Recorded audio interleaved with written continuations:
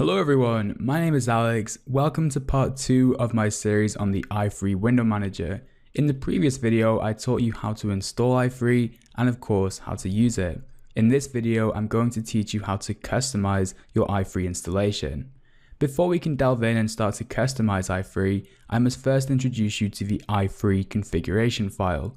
You'll recall that when you first installed i3, you were asked if you wanted to create a configuration file. I recommended that you did create one.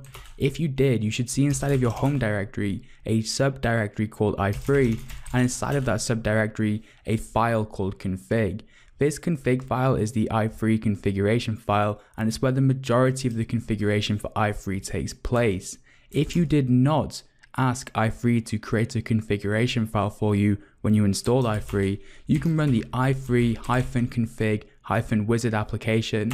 This will prompt you to create the configuration file again. However, if you already have a configuration file, the program will exit. This configuration file is simply a text document, which means you can edit it using any text editor.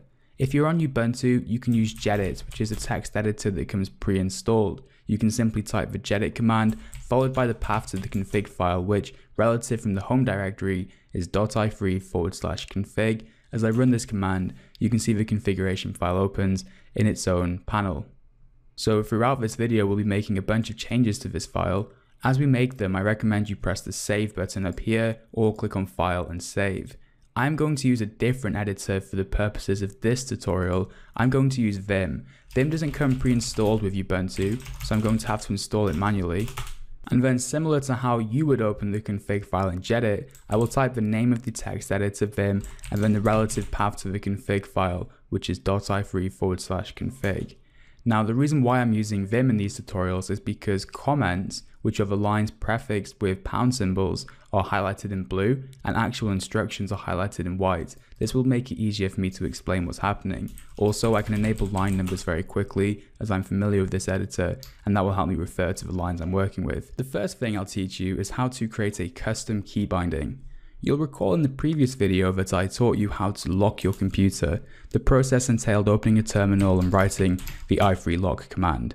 Whilst that's not too tedious, it's a little bit monotonous to have to open the terminal and write the command every time you want to lock your computer. It would be much nicer if we could create a custom key binding. So in other words, I want to make it so that when I press mod plus shift plus X, the i3 lock command will be executed. I can do that via the configuration file. So I'm going to go back to the config file and go all the way to the bottom. I'm going to create a new line and write bindsym dollar mod plus shift plus x exec i3 lock. I'll explain this in a second, but first let me save the document and then I'll try and press mod shift and x to see what happens. So I'll press mod shift and x and nothing happens. In fact, because i3 is not interpreting that shortcut, the Vim editor is. And as you can see as I press mod, shift and X, it is deleting the currently focused character. I'll undo those changes and resave the document and I'll explain why this is not working. Basically, we've saved the configuration, but we have not yet applied those changes. To do that, press mod, shift and R. Mod, shift and R is the key binding to restart i3. Once you restart i3, your new configuration will take effect. Now, when I press mod, shift and X, the screen actually locks. Okay, now you've seen that works, let me explain what's going on here in a little bit more detail. Basically, bindsym is the configuration for binding system keys.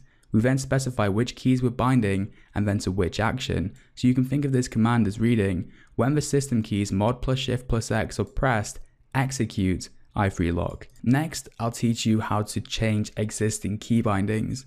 Something sort of interesting about i3 is that all of the defaults are defined inside of this configuration file. When you open this file, it wasn't empty, was it? That's because all of the key bindings that I taught you in the previous video and all of the key bindings you're still yet to discover are defined in this file. If I go to the top of the file, you can see that for example, there is a key binding for mod plus shift plus Q, which executes the kill command. You'll recall that the mod plus shift plus Q command quits the current window. Similarly, we have a command here to launch dmenu when dollar $mod plus D is pressed. Now in the last video, Expert Me asked if it was possible to change the default key binding for the run menu. Yes, it's absolutely possible. All I have to do in this case is replace the key binding here. Say for instance, I want to bind the mod plus X keys to dmenu. I can make that change, save the file, press mod, shift and R to restart i3 in place. And now when I press mod plus X, dmenu is launched at the top there. If I press mod plus D, nothing happens. I think specifically though what X for me wanted to do was bind mod plus R to dmenu, which makes perfect sense because dmenu is a program runner. The trouble is, mod plus R is already in use by the resize key binding. If I search for document for resize, I think it's actually just beneath this block. Yeah, you can see that the mod plus R key is already bound to this command, which means if I save this file and restart i3 by pressing mod shift and R, we'll get an error. Can you see this red banner at the top here? If I click the button called show errors, you can see the error duplicate key binding in config file. So we can't do that by default, but what we could do is we could then replace the R for this command with X, for example, that will then make it unreserved, thus that now when I save the file and restart i3, the error is no longer there. Me, personally, I don't really like to mess with the default key bindings too much because it will get very confusing as you start shuffling key bindings around, so whilst I don't recommend it, it's totally possible. I think now would be a good time to take a brief intermezzo to introduce you to the i3 documentation. To access the documentation, go to your browser and go to i3wm.org. At the top here, you'll see a navigation item for the docs, click it, and what you really want to read is this user's guide. Now the reason why I'm bringing this up now is because it's a good time to mention that whilst I'm going to cover a fair amount of ground in this tutorial, I can't possibly cover the entire breadth of i3. For example, at the moment I'm teaching you about keyboard bindings, but for example, it's also possible to configure mouse bindings, which is something I'm not going to talk about. So if you are looking to learn more about i3 outside of this video, I highly recommend you check out the docs. It's very well written, very concise, and full of actual examples, which is great for kinesthetic learners like me.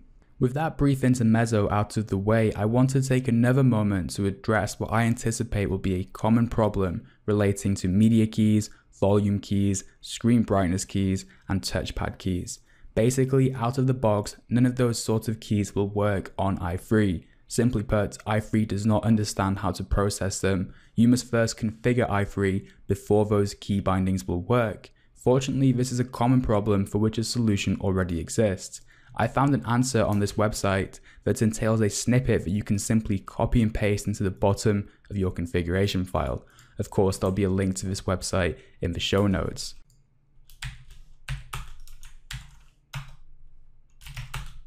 Unfortunately, I use i3 on a desktop computer, which means I've never used the touchpad or screen brightness controls, so I'm going to remove those. The pulse audio controls work really well on Ubuntu. Basically, we're using that same bindsym command to say that when the audio raise volume button is pressed, we should execute the following command. As you can see, this particular handler uses an application called pactl to control the volume. pactl comes pre-installed on Ubuntu, which means these commands should work brilliantly on Ubuntu out of the box.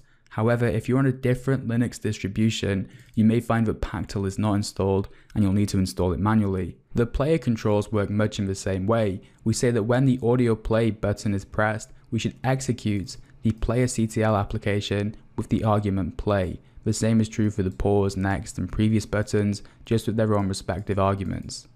Unfortunately, playerctl is not pre-installed on Ubuntu, which means we'll have to install it manually. What's more, there is no package for it in any of the predefined repositories, so we'll have to go and download the Debian package manually. The first step to do that is to go to your browser and search for playerctl on GitHub. Click on the first and most obvious link. Under the releases page, you should see a download for the Debian package. Click on it and you should be prompted to save the file. I'm going to go back to workspace 1 and open a new terminal, navigate into that downloads directory. If I list all of the files, you should see the playerctl Debian package. I can install it by typing sudo dpkg-i and then the name of the package. Enter my password and just like that, playerctl should be installed we can verify it's installed by looking at the help page. Now when I use the media or volume keys on my keyboard, my system should respond. Unfortunately, I can't demonstrate that as I'm in a virtual machine, but if you have any doubt, just try it yourself and I'm sure it will work if you follow my steps exactly. Next, we're going to move away from the keyboard to look at how we can make applications automatically load with i3. In other words, how to make it so that when we log into i3, some applications will be automatically loaded. Say for the purposes of this demonstration, I want to make Rhythmbox automatically load with i3. Rhythmbox is a media player and it's something that you might realistically want to load with i3. Me personally, I always load my media player with i3. To make Rhythmbox load with i3, go to the bottom of your configuration file and simply write exec for execute and then the name of the application, which in this case is Rhythmbox. Of course, it doesn't have to be Rhythmbox. You could write, for example, Firefox here or Skype or any other application, but I will just do Rhythmbox.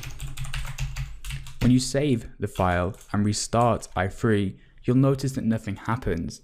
This is because by default, outside of the context of a key binding, exec will only work when you first log into i3. And when you think about it, this kind of makes perfect sense because you wouldn't want to, for example, close Rhythmbox, go and change your configuration file, restart i3 and have Rhythmbox pop up every time you restarted your desktop. It'd be kind of irritating.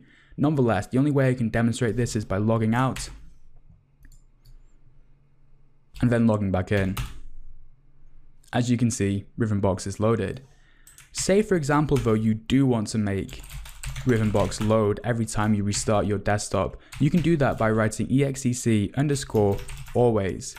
Save the file now and then restart i3 and as you can see Rhythmbox loads. If I close it and then restart i3, Rhythmbox loads. It makes me sort of laugh because it's almost ridiculous when it comes to applications, but there is a very valid use case for the exec underscore always uh, uh, configuration that I'll show you in just a second when we look at how to create a custom wallpaper. Next, I'll show you how to set a custom wallpaper in i3. You might expect that if you went to your browser and sort of picked out a nice wallpaper, that you could save this file, sort of right click it and then press set as wallpaper. In i3 that won't work. What you must do firstly is right click on the photo and save it to your file system. I've saved mine to the pictures directory and renamed it to wallpaper.jpg. To set the wallpaper, you're going to need to install an additional application. There are a few options here, but I like to use an application called Feh, that's F-E-H, which I can install by writing sudo apt-get install Feh. I'll enter my password, and just like that, Feh will be installed. But for now, I can access the Feh command, specify an argument, namely dash dash bg scale, and then the path to the wallpaper relative from the current directory, as I'm already in the pictures directory, I can just write wallpaper.jpg. Now before I run this command, let me show you an empty workspace. See how the wallpaper is the default Ubuntu 15.10 wallpaper, but as I press enter to run this command, you can see that the wallpaper now changes. So we're done, right? No, not quite. You'll notice that if you log out of i3 and then log back in, that the wallpaper has been restored to the default Ubuntu wallpaper. This is because the application we used Feh is ephemeral. The change it makes only lasts for the duration of the user session. As soon as you log out, i3 basically forgets that you ever set a custom wallpaper, therefore when you log in again, it just shows you the default wallpaper. To rectify this problem, we need to execute the same Feh program with those same arguments every time we log into i3. We can do that using the same technique I showed you previously. So go to your configuration file. At the very bottom, write exec underscore always feh specify any arguments that you might want to specify such as bg dash scale and then specify an absolute path to the wallpaper in my case it's going to be in my home folder which is called booker because that's my username obviously you'll want to replace this with your own username and the wallpaper is called wallpaper.jpg I'll save the file, but before restarting i3, let me just go to an empty workspace and show you that the wallpaper is the default. I restart i3 and now the wallpaper has been updated. Hopefully now you can see why this exec underscore always command is actually useful for certain commands. In the case of Rhythmbox, it makes no sense to execute Rhythmbox every time you restart i3. However, in the case of Feh, it makes a lot of sense because say you want to change your wallpaper, you can just replace that file and then restart i3 and the wallpaper will propagate. It makes it really easy to change your wallpaper in the future. One more thing I think I ought to explain before I move on is this dash dash bg dash scale argument that I supply to the Feh application. You'll recall that in most conventional operating systems, when you set the wallpaper, you have an option to either sort of stretch or scale or center or tile the wallpaper. Well, in fact, there is no graphical user interface, so I specify that option via an argument. BG Scale isn't the only option. If you look at the man page for Feh and search for BG Scale, you can see that there are other options like BG Center and BG Fill. Next, I want to talk about how to configure monitors in i3. By default, there is no graphical user interface for editing monitor settings. There is only a command line utility called xrandr, which if you look at the help page, there are a bunch of arguments that relate to the position, resolution, and orientation of monitors. But as you can probably imagine, trying to express the position of your monitors using command line arguments can be a bit difficult. It's for that reason that I highly recommend you use a graphical based tool called arandr. arandr is essentially a graphical user interface that sits on top of xrandr. When you make setting changes and hit apply, it basically calls the xrandr program under the hood. arandr, however, is not installed on Ubuntu by default. To install it, go to the command line and write sudo apt-get install arandr. Enter your password and arandr should install. Once arandr is installed, you should be able to open it via dmenu like so. As you can see, it closely resembles other operating system setting windows for monitors. If I had multiple monitors, I'd be able to drag them around like this to configure their position. I can right click on any monitor to change the resolution or orientation. It just so happens, because I'm running my computer inside of a virtual machine, I don't really need to make any changes. But say you make your changes, you can just hit apply and those changes will take effect. However, much like the Feh command that we looked at previously to set the wallpaper, the changes are ephemeral. As soon as you log out, i3 will forget them. If you want to apply these changes on a more permanent basis, press the save button and you'll be prompted to save the xrandr command that arandr generates internally to disk. You can then execute that xrandr command when you log into i3 using the same techniques I've showed you previously. I'll call this file foo, which is a gibberish word, because I'm only saving it for the purposes of extracting its contents. I'll delete it afterwards. I'll open the terminal and using the cat application, I can list the contents of the foo.sh file. It looks like arandr added the sh extension for me. As you can see internally, we have a shebang that indicates to Linux that this is a shell file. Beneath that, we have the xrandr command and all of its arguments that we don't have to write. It just so happens in this case that most of these arguments are redundant, especially because I didn't really make any changes to my file. But if you did, for example, change your resolution or screen position, these arguments would be very valuable to you. I'm going to copy those and then I'm going to open my config file at the very bottom, I'm going to paste the command and prefix it with exec underscore always. This way, whenever I restart the i3 desktop, that command is going to be executed. Thus, if I want to make a change, for example, to the resolution, I can just restart the desktop and it will take effect. Of course, you could optionally write just exec and that way it will only be executed when you log in. Okay everyone, I've closed down everything so we can focus on our next topic which is workspaces. To configure workspaces, you do so from the same configuration file you've been using throughout this video. Specifically though, search for workspace and you'll find the configurations relating to workspaces.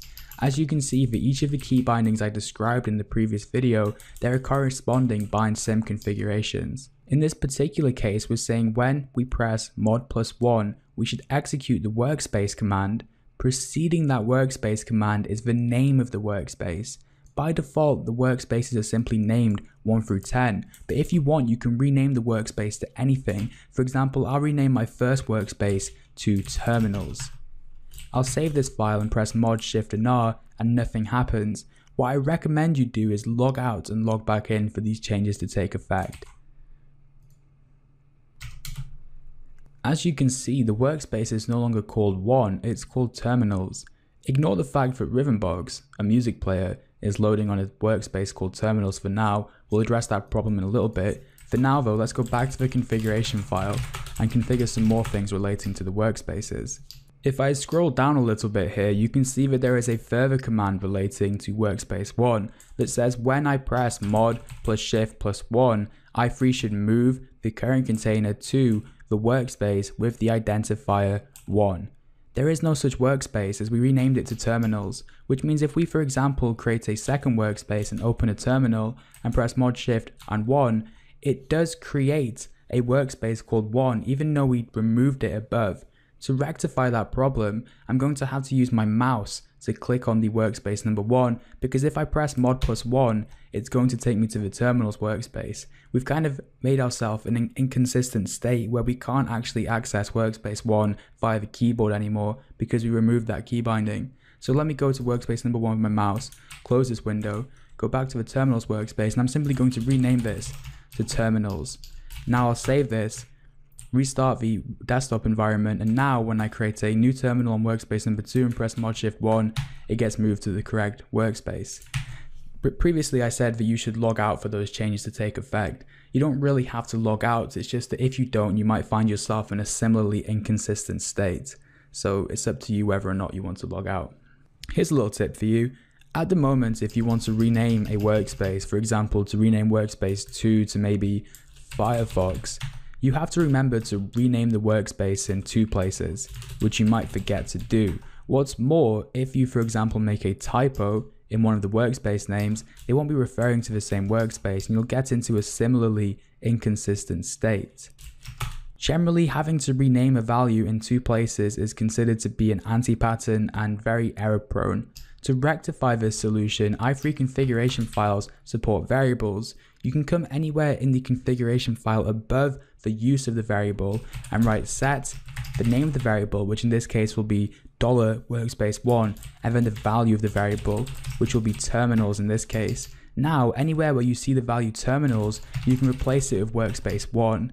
You can do the same down here and of course, we'll also create a second variable for the second workspace, which will be workspace 2. The value will be Firefox. And anywhere we see Firefox, we'll replace it with workspace 2. I wish, by the way, that the configuration file would do this out of the box, because it's really only useful when you now change your workspace name in the future. Say, for example, I want to rename terminals to, I don't know, editor. Well, I make that change in one place. We start the desktop environment, I'm going to actually log out and log back in because I don't want to be in an inconsistent state.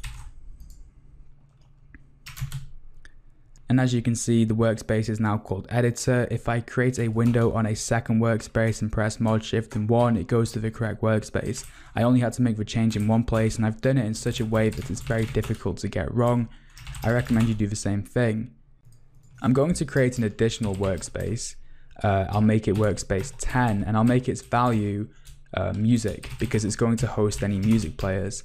I'll need to remember to come down here and rename 10 to dollar $workspace 10 and also to come down here and replace 10 with dollar $workspace 10. Basically, by the way, when i3 interprets this configuration file, anywhere it sees the text dollar $workspace 10, it's going to simply replace it with the value music, and the same is true for the other variables as well. I'm going to save this file and reapply the changes by pressing Mod Shift and R, and now when I press mod and zero, it will take me to the music workspace. As you can see, if I create a container on another workspace and press mod shift and zero, it will take it to the music workspace.